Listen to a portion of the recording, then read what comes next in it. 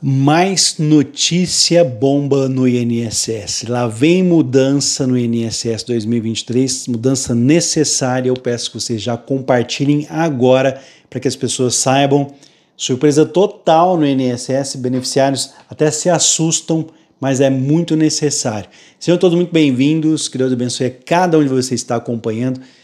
O YouTube não está entregando meus vídeos, então para poder ajudar eu conto com a sua colaboração. Já compartilhe esse vídeo lá no seu Facebook, no seu Instagram, no seu Telegram, na sua lista de amigos do WhatsApp para ajudar outras pessoas. Deixa aquele like da confiança para eu saber se vocês recebem os vídeos aqui do canal. E peço que vocês me acompanhem nesse vídeo que é importantíssimo. Se você ainda não é inscrito, não é inscrito, aproveita essa oportunidade. Já se inscreva aqui no canal, ative o sininho das notificações para você ficar por dentro de tudo que está acontecendo, para não ser prejudicado. No final do vídeo tem dica aqui importantíssima, hein? Olha, membros do Ministério da Previdência estão se movimentando para começar a investigar, a investigar aí possíveis vazamentos de dados de aposentados e pensionistas do Instituto Nacional de Seguro Social, INSS. Exatamente nós deveríamos valorizar mais as nossas informações, sempre alerta as pessoas em relação a isso aqui no canal. E agora parece que vai haver uma investigação. Existe uma suspeita de que o INSS estaria vazando, de alguma forma, as informações pessoais dos cidadãos que recebem aposentadorias e pensões. A suspeita não é nova e vem ganhando uma força nos últimos, nos últimos meses diante de relatos de aposentados e pensionistas, inclusive pessoas que deixam comentários aqui no canal. Então peço que já comentem também, participem. Esse fomento, esse número de comentários chega até nossos representantes, né? até nossos políticos, e é por isso que existem essas mudanças, devido às movimentações que nós temos hoje nas redes sociais. É de grande importância. Os tempos são outros, então quando você reclama aqui, sim, isso pode chegar aí aos ouvidos dos nossos governantes através das reclamações nas redes sociais. Então essas pessoas alegam que estão sendo assediadas, estão sendo procuradas por instituições financeiras assim que elas começam a receber a aposentadoria. São várias ligações e tentativas de contatos durante todo o dia para a contratação de serviços. Os membros do Ministério Público Federal avaliam que a única explicação para que as instituições financeiras consigam tão rapidamente as informações, né, os dados dos aposentados, é um possível vazamento por parte do INSS. Uma investigação poderia comprovar se esse problema realmente existe e se ele estaria sendo provocado propositalmente aí pelo INSS. O problema do vazamento dos dados pode, aliás, ir além dessa procura, desse assédio aos segurados, seguradas.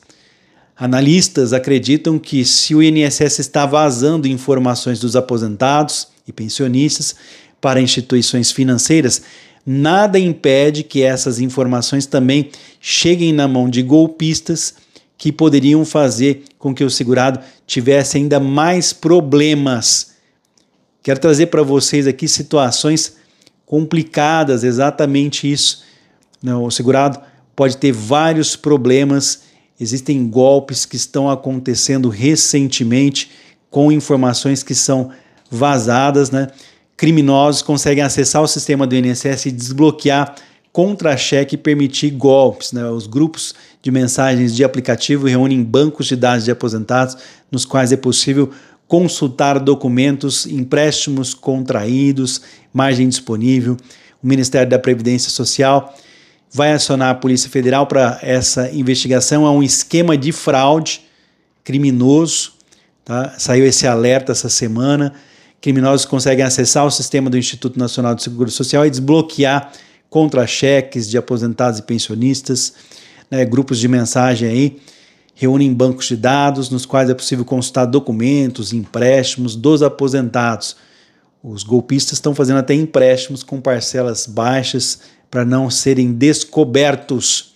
Em um anúncio oferecido um kit completo na internet para realização de golpe, com identificação, até selfie da pessoa mostra no documento.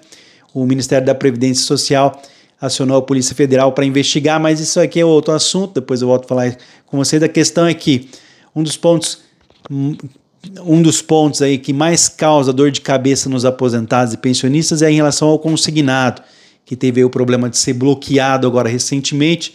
O governo está buscando solução. Nos últimos anos, vem crescendo o número de declarações relacionadas ao crédito. Há relatos de idosos que afirmam que não chegaram a pedir nenhum tipo de dinheiro no sistema, mas mesmo assim recebem as aposentadorias e pensões com descontos. O que diz a lei a respeito disso?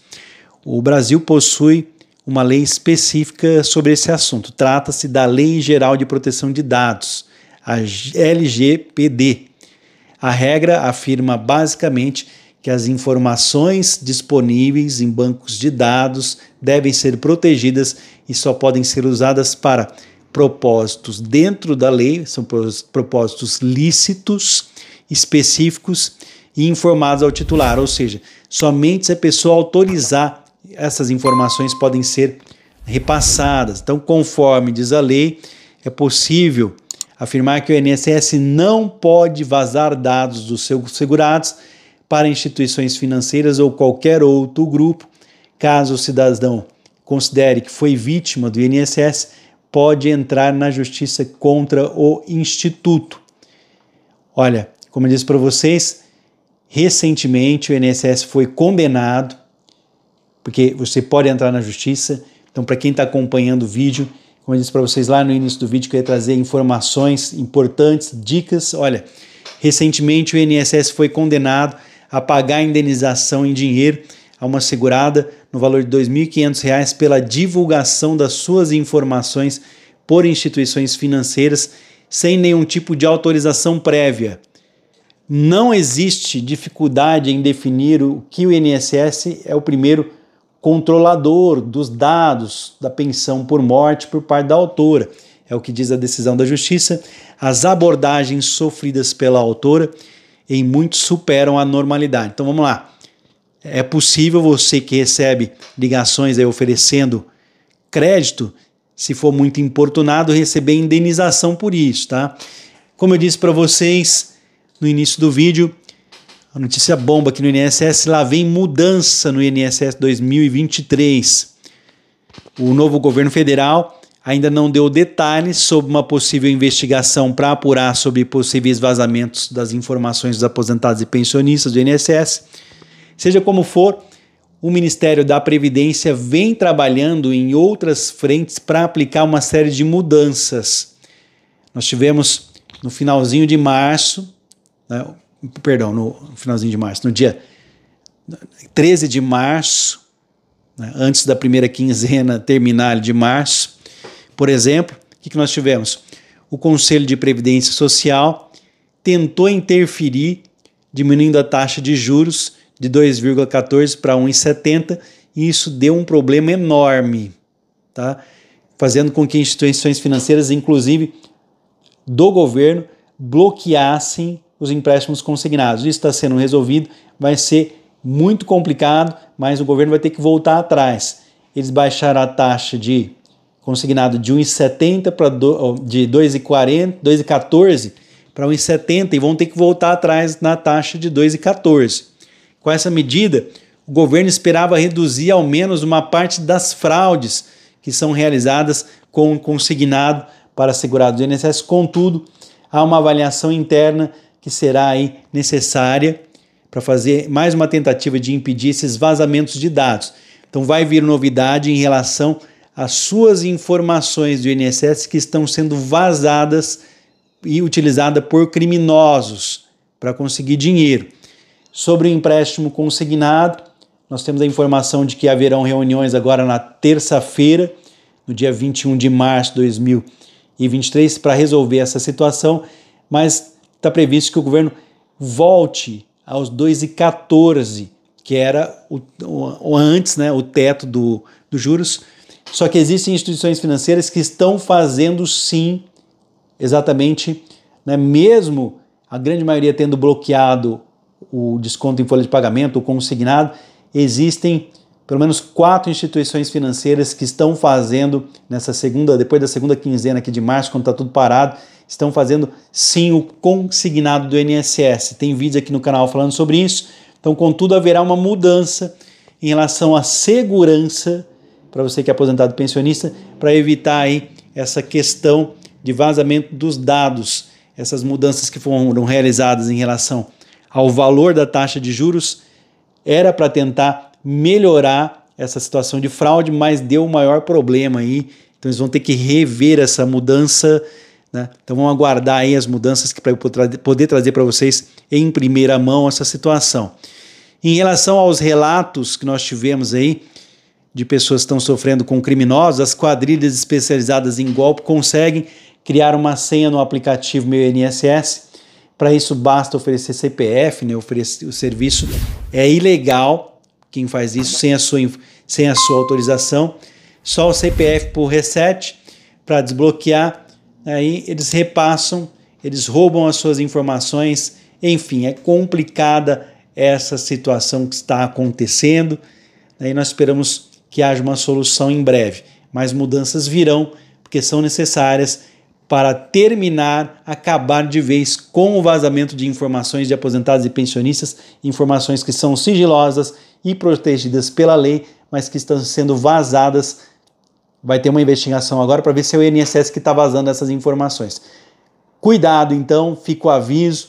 Se tiver desconto no seu pagamento aí que você não autorizou, já corre para saber de onde foi e tomar as medidas cabíveis. É golpe. Daqui a pouco eu volto com mais informações. Que Deus abençoe a todos. Meu muito obrigado pela sua participação, pela sua presença. Tem novidades chegando aqui para vocês. Não é inscrito, não é inscrito, já se inscreva aqui no canal. Ative o sininho das notificações para receber nossos vídeos. É de graça, vocês não vão pagar absolutamente nada para se manterem informados todos os dias. Fiquem com Deus, um forte abraço. Até o próximo vídeo.